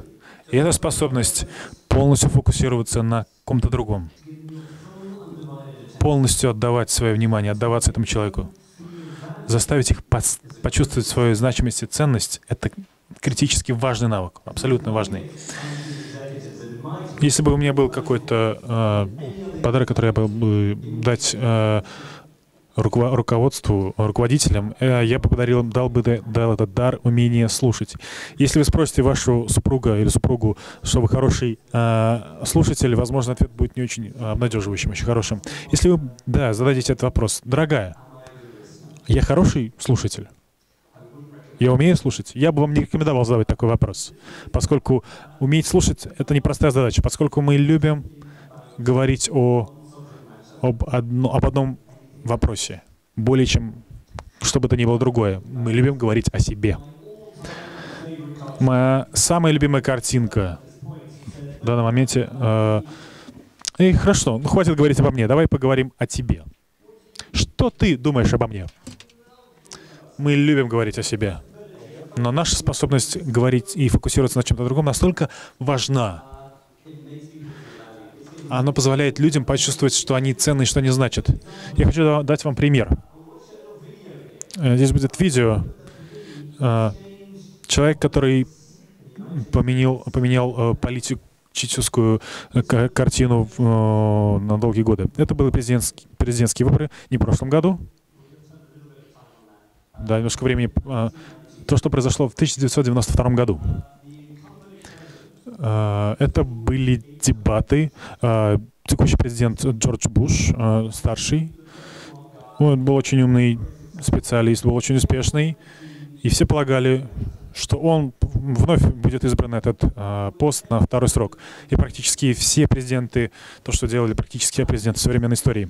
И, и особенно я полагаю это, что демократы назначили кандидата по имени Билл Клинтон. Выбор. И никто не слышал об этом парне. Он был губернатором маленького штата, а, который назывался а, Арканзас. А, его столица была маленькая, ну, по сути, маленькая скала. И Буш полностью лидировал по всем показателям. И а по, до какого-то момента, который поменял всю историю а, предвыборной гонки. Это был ключевой точкой, рэперной точкой в современной политической э, системе, в его карьере. Это был первый, один из первых э, телевизионных дебатов, которые транслировались по всей стране. Эти дебаты проходили много раз, но они прошли по-другому, поскольку обычные люди пришли в эту э, аудиторию. Они задавали вопросы, не интеллектуалы, не ведущие журналисты, э, профессора, а обычные люди. И в этом видео вы видите Джорджа Буша, Анусов. И это слово сродни ДТП. То, что он говорит. Есть аналогии, которые он использует. Если э, очень, он использует аналогии с раком, он ему задают вопрос э, простой человек, совершенно глупый, э, и он дает ужасную аналогию, и затем вступает Билл Клинтон. И после этих дебатов, после этого, после этих дебатов практически 90% населения говорит, что Билл Клинтон э, выиграет эти выборы. И затем это просто наросло в геометрической прогрессии его, его позиции. Потому что он чувствует мою боль. Вот что он сделал, вот что, он, вот что ему удалось. У нас есть вопрос для вас. Да, как, как государственный долг лично э, вас повлиял на личного из вас? Если он не повлиял, как вы можете а, найти лечение и улучшить ситуацию обычных людей, если у вас нет опыта, как решать те или иные проблемы? Итак, я думаю, что государственный долг а, влияет на всех. Очевидно, он он много связан с процентными ставками. Нет, она сказала именно вас, на вас, как это повлияло. Да, как повлиял государственный долг, влияет на вас. Да, конечно, я хочу, чтобы мои внуки э, э, получили образование, чтобы мы могли позволить образование. Я думаю, что это очень важная часть, э, когда вы родитель. А, я, может быть, не понял правильно, но то, что вы предлагаете, что если у кого-то есть средства, а, когда у них есть средства, и этот государственный долг не влияет. Может быть, я не совсем понял вопрос. У меня есть друзья, которые потеряли работу. Я знаю люди, которые не могут платить по ипотеке. И э, платить кредит за машину. У меня лично есть определенные проблемы с этим государственным долгом. Но как это вас повлияло, если у вас нет опыта в решении этих вопросов? И тогда как вы можете помочь нам? Может быть, она имеет в виду большую рецессию, э, экономические проблемы, которые сталкивается страна.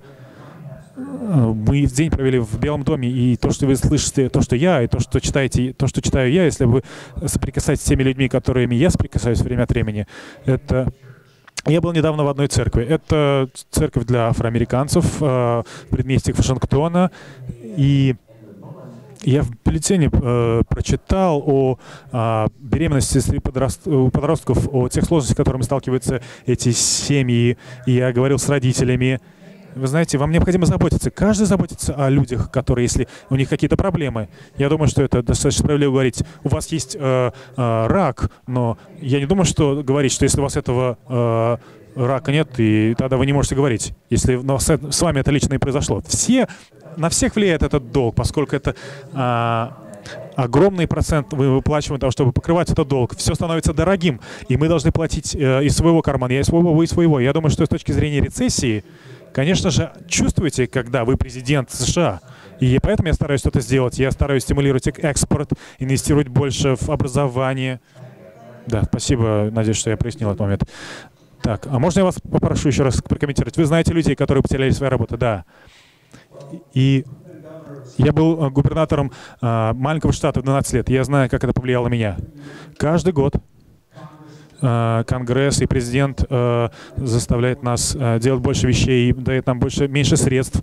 Я видел людей в моем штате, э, их э, налоги растут, и э, их прибыль падает, и э, хотя они вроде бы стремятся сократить налоги. Я знаю, что происходит последние 4 года в моем штате. Люди теряют свою работу, я знаю об этом когда закрывается завод, я знаю людей по именам. И когда бизнес банкротится, я знаю этих людей. Я знаю, э, здесь занимаюсь 13 лет, и с октября 13 месяцев, и люди, как вы, по всей Америке, я встречаюсь с ними, люди, которые потеряли свою работу, потеряли свою страховку по здравоохранению. Я знаю, что вы говорите. Я знаю, государственный долг — это не единственная проблема. Э, потому что Америка не инвестировала в своих людей, потому что мы не росли, потому что мы э, снизился экономический рост, мы необходимо, и с точки зрения заработной платы мы упали с первого на 12 место, и нет, мы не создаем э, э, новые рабочие места в частном секторе, и ситуация, поскольку мы а, просто не, не можем применять нашу экономическую теорию. Мы занимаемся теорией, она не приносит никакого результата. Какую же экономическую теорию вам нужно здесь применить? Ну, что, нам очень важно ответить на вопрос, что мы будем делать. И мы, нам нужно будет инвестировать э, в работу, в в профессию, в образование того, чтобы сделать Америку единой страной.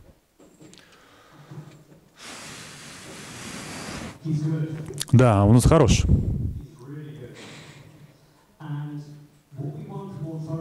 Что мы хотим а, с точки зрения, чтобы изменилось по, по показателях а, руководства? В прошлую эпоху было здорово, когда вы э, руководитель, как бы интеллектуал. Например, я знаю, что для вас подходит. Делайте то, что мы вам говорим. И все больше и больше мы выстраиваем взаимоотношения. Поскольку, что люди говорили о Билли Клинтоне? Он чувствует мою боль. Он знает, что я испытываю. И его а, слоган, основной девиз его кампании предварительной, предвар, предвыборной, а, заставит людей почувствовать, что они представляют определенную ценность. Я проводил часы в лекциях своими студентами, а, разбирая по полочкам, что делал Клинтон. И это было настолько блестяще. Это изменило политиков Америки навсегда. Да, не буду говорить слишком много о американских политиках. Следующий момент э, — это участвовать в сложных для вас разговорах. Что для себя представляет трудный разговор? Это разговор, э, который мы знаем, нам э, необходимо провести, но мы знаем, что он не пройдет хорошо. Я несколько факторов э, представляю здесь на слайде, которые покажут вам несколько примеров, что из себя представляет сложный и трудный разговор. Но это его суть, это сам разговор, который вы знаете, который вам нужно провести. Но он не пойдет по намеченному плану. И все мы пытаемся избегать э, этого трудного разговора. Почему избегать? Но мы не глупые. Мы мы же не дураки, мы знаем, что он не пойдет. Хорошо. Есть несколько моментов, которые, с которыми, э, с, с которыми связан этот, этот трудовой, трудный разговор. Э, лидерство не связано с соревнованием за популярность. Большинство людей избегают сложных вещей, сложных, трудных разговоров. а у лидеров есть смелость а, вставать против а, этой ситуации, бросать ей вызов и принимать на себя ответственность. И есть прекрасная а, цитата моего коллега из Гарварда. «Отсутствие конфликта не есть гармония. Это апатия». Вы избегаете сложных разговоров, вы занимаете должность, которую вы занимаете. Есть масса причин, которые могут оправдать ваше поведение. Но все равно этого недостаточно. Несмотря на наши безупречные оправдания, мы принимаем свое мужество и участвуем в этом трудовом, трудном разговоре. Потому что чем дольше мы откладываем, тем, больше, тем хуже станет ситуация. История, которую я рассказываю своим студентам. Когда я говорю, завтра утром вы просыпаетесь, вы принимаете душ, и в душе вы замечаете э, а вы заменяете опухоль на своем теле, и вам кажется, которую вы никогда не видели, и вы говорите, я пойду к доктору, чтобы с ним поговорить. Я очень занят сегодня, очень а, трудная неделя, я пойду на следующий. И вы оставляете это на следующую неделю. Знаете, что произойдет в следующую неделю? Больше аллигаторов, больше дел. Хорошо, я пойду в следующем месяце.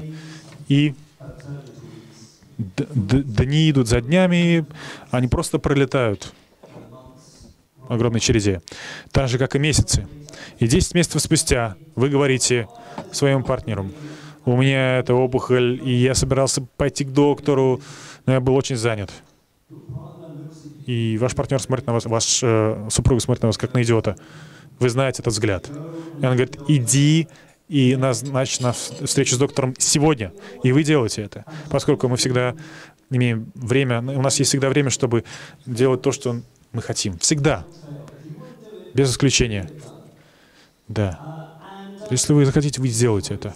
Мы просто избегаем. Вы идете к доктору, доктор вас осматривает и говорит, о, это плохо. Вы проходите, сдаете анализы, и он вам говорит, приходите завтра. На следующий день вы приходите, и доктор говорит, пожалуйста, присядьте, у меня для вас не очень хорошие новости. И доктор говорит вам,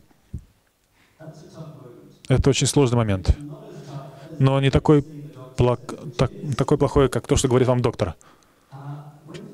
Когда вы впервые заметили эту опухоль? Десять месяцев назад? Вам, у вас не возникла, может быть, маленькую мысль, что, может быть, надо сходить к доктору и проконсультироваться? В ту же секунду, когда вы обнаружили ее, эту опухоль, вам, вы поняли тут же, что вам нужно пойти и встретиться с доктором. Никогда не недооценивайте э, способность э, в, э, живых существ жить в состоянии отрицания, потому что мы отрицаем многие вещи. И сегодня в течение дня мы обсудим, что в организациях, что уничтожает их больше, чем что бы то ни было другое, это не конфликт это отсутствие конфликта. умные люди, профессионалы говорят, нет, это не нужное время, это неподходящее время, мы сделаем это потом. В э, конце года я обязательно займусь этим вопросом. У вас всегда есть причины. Оправдание. Это пятый момент. Шестой — это быть настоящим. Э, есть всегда определенное давление со стороны организации, есть э, давление необходимости соответствовать. Есть э, ученые, которые занимались этим вопросом, э, так называемый Соломон Эш. А вот одно из его исследований. Эксперимент — это, это не осмотр, а просто общественного мнения. Это поведение в условиях давления, который провел Салман Эш. Эксперимент, который вы будете принимать сегодня, изучает восприятие темных линий, как вы можете видеть сегодня. Я вам не хочу, чтобы вы а, изучили несколько лет. А задание очень простое. Вы просто смотрите на линию, которая слева, и пытаетесь определить, какая из этих трех полосок э, с, правой стороны э, равна той, которая слева. Мы вот в этом порядке будем. Только один из людей в этой группе является а, настоящим исследуемым. Это парень в белой майке. Остальные – это сотрудники лаборатории, которые будут давать некоторые неправильные ответы в некоторых попытках. Эксперимент начинается, начинается с того, что а, они начинают давать свои оценки. Вторая, вторая линия, вторая, вторая, Третье. Третье.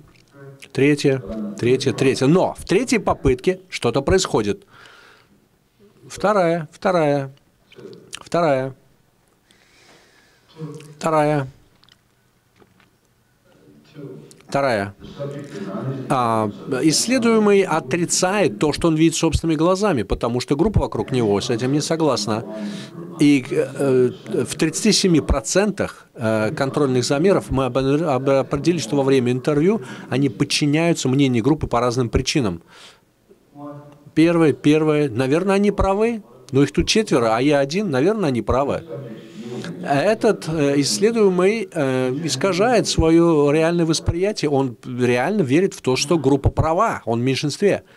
А теперь мы можем смеяться над этой идиотской ситуацией, но а, мы все же подчиняемся тому, каким образом мы одеваемся, как мы ходим на обед, как мы встречаемся, работаем по какому-то протоколу, как мы проверяем свои электронные почты по выходным дням. Мы все чувствуем это давление, которое нас оказывает, но лидеры другие, э, потому что лидеры демонстрируют свою личность, свою личную силу. Пример. А этот руководитель, о котором мы будем говорить, он э, очень отличается, и он был, отличался от всех до того, как он стал богатым.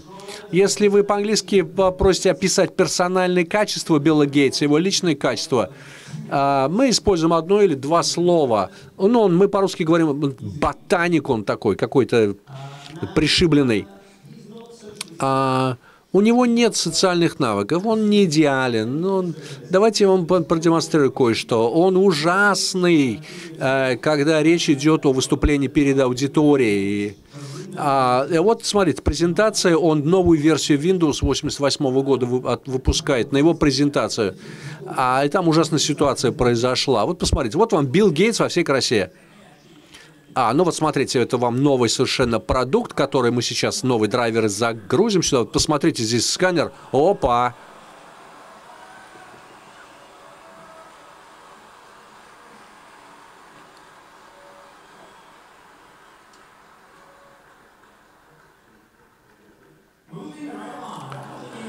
А, вот, да-да-да-да. Ну, наверное, что-то там у нас не так пошло, да-да-да. Ну да, тут не самые лучшие его качества показаны. Он гениальный человек, он гениальный руководитель, он смог революцию произвести в технологии Microsoft под величайшими компаниями. Но как оратор, он никакой вообще. Вам не надо быть идеальным для того, чтобы быть вдохновляющим лидером. И вы не идеальны. Есть какие-то вещи в вашем характере, которые не очень хорошие, мы об этом еще поговорим. Это нормально все.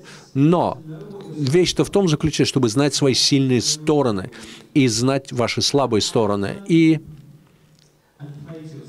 и, соответственно, играть на ваших сильных сторонах, их использовать.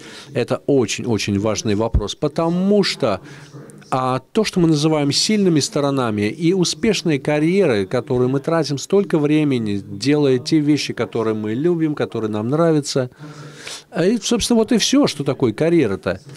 А, мы видим э, исследования по поводу больших э, и хороших карьер. Люди хотят идти на работу, хотят работать.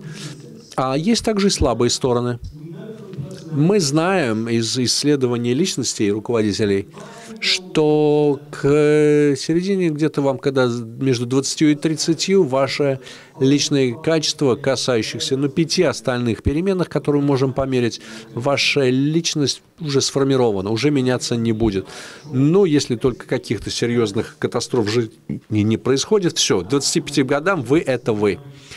А теперь нам тут, по-моему, всем присутствующим больше 25, то есть после этого менять свою личность поздно. Вы тот, кто вы есть, и вряд ли вы изменитесь. Но нормально все. Это нормально. А что, вот что нам нужно, это то, что что-то между нашими сильными и слабыми сторонами находится.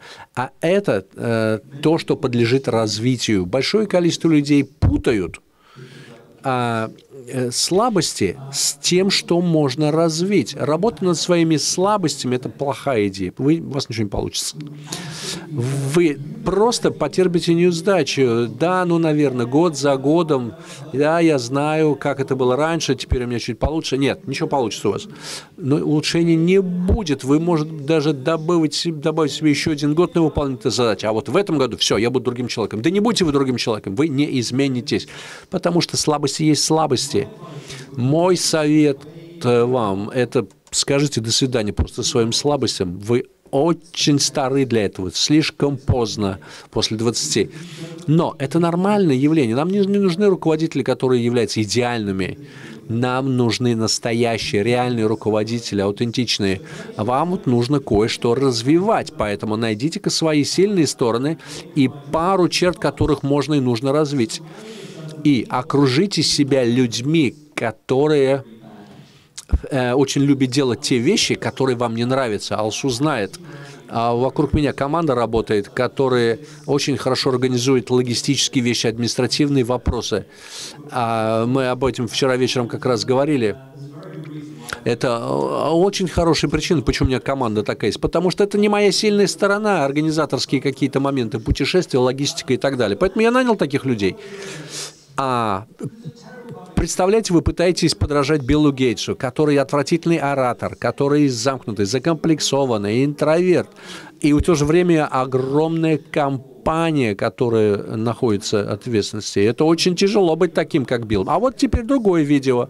Это второй э, человек в команде. Это Стив Балмер. Это такой же Билл Гейтс, только номер два. И вот как он делает презентацию на конференции своей компании. Посмотрите, Стив такой же, как Билл, или Стив старается быть самим собой? Выступление на конференции компании –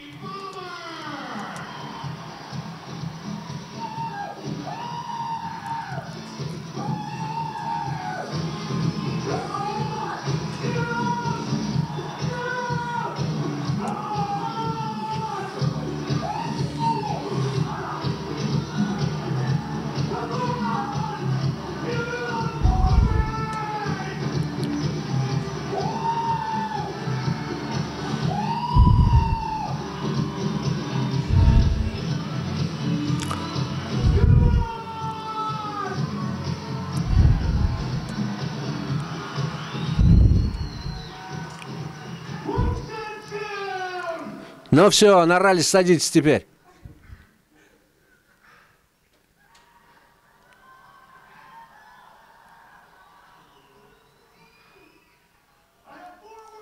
У меня для вас четыре слова есть.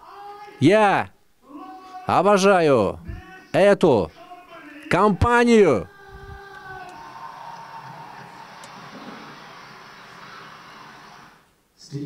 Стив не пытается подражать Биллу. Он другой, он громкий, шумный, агрессивный.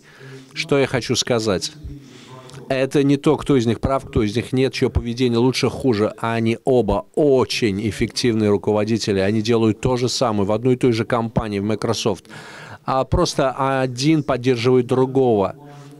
Нет стиля руководства, который называется правильным. Люди хотят следовать реальным, нормальным людям, а не какому-то безликому, обезличенному роботу-менеджеру. Проблема здесь в том, чтобы раскрыть свою личность, свое персональное качество. Мы э, хотим э, чувствовать себя в безопасности, но дело в том, что лидерство – это взаимоотношения, а взаимоотношения всегда включают в себя уязвимость, где вы должны э, открыть часть самого себя настоящего, а есть риск того, что это будет не принято, отвергнуто. А, ну, тут вот я подведу итог, прежде чем мы прервемся на обед, мы после обеда продолжим, но я хочу завершить примером, который для меня является очень вдохновляющим, и я знаю, что э, для того, чтобы рисковать лично, нужна храбрость. Речь идет о XVI веке. С VIII века то почти до XVIII века. А доминантная бизнес-модель в Европе была это была святейшая католическая церковь. Потрясающая была у них бизнес-модель. Если вы хотите попасть на небеса, говорили они, заплатите денежки для того, чтобы вас простили, освободили от ваших грехов. Отличная бизнес-модель. Но в XVI веке э, императором был Чарльз VI а, католической церкви. Но тут появился человек, который сказал, нет, я не согласен. А, вы не должны платить деньги для того, чтобы попасть на небо, в рай. Все, что вам нужно, это вера чтобы попасть в рай. И человека этого звали Мартин Лютер. Он был немцем. И император Чарльз V, он не обрадовался этому делу. Проблема была. Э, и э, Папа Римский, и Лео X тоже был не рад этому. И они его пригласили на трибунал в небольшой городок в Германии около Гельдельберга. И он стоял там перед самыми богатыми людьми мира – Э, в своей простой одежде, и он сказал то, что до сих пор у нас а, звучит в ушах. Он сказал, это мое мнение, на этом я стою, и я не могу иначе. Это суть лидерства. Это не то, чтобы прятаться, уклоняться от пуль и осколков, э, и склонять голову. А у нас есть соблазн, конечно, сделать это. А, не рисковать, ну, оставь, не буди лихо, пока тихо. Но роль лидера рискована, вы можете потерпеть неудачу, вас могут э, повредить, убить. Но с Мартином Лютером он отлично знал, что у нее есть вероятность, что ее подвергнут пунктам и убьют, и казнят. Это случалось и до него. Но он встал и сказал то, что сказал. И вот это, на чем я стою, это я. Это мое. Я стою на двух ногах твердо. Я стою за то, в что я страстно верю, и я готов принять этот риск, потому что я по-другому не могу что происходит в великих успешных организациях, что люди на всех ступеньках иерархии, они борются и отстаивают то, а, к чему они страстно относятся. Мы можем быть лучше, мы можем быть качественнее, чем организация. В моей части, в моем подразделении я могу сделать все лучше, более эффективно. И они не говорят тому кто-то там, а вот они должны. Нет, я буду делать то, во что я верю, и я буду лично сам своим авторитетом добиваться того, чтобы происходило все то, чтобы помогать нам выполнять нашу миссию, нашу функцию. Я надеюсь, что я дал вам определенную пищу для размышлений на перерыв. Когда мы придем, у меня здесь есть несколько вопросов для вас, которые я вам задам. И а, потом мы поговорим на эту тему. Но сейчас пришло время обеда. Но что бы я хотел спросить вас, но по мере тому, как мы сейчас пойдем пообедаем, пожалуйста, не делайте то, что я говорю, а, не устраивайте школьную дискотеку тогда, когда вы а, а, сидите, что там люди делают э, на соседнем столе. А, а, а, то есть, ну, не, не, не образовайте маленькие группки людей, которые друг друга знают. Перезнакомьтесь, пожалуйста, со всеми, потому что нам важно а, коллективное мнение. Если мы хотим успешно поработать, пожалуйста, постарайтесь познакомиться с людьми, которые рядом с вами. В два часа возвращаемся, да, в два часа сюда возвращаемся, и мы потом а, обсудим вот эти вопросы. Большое вам спасибо.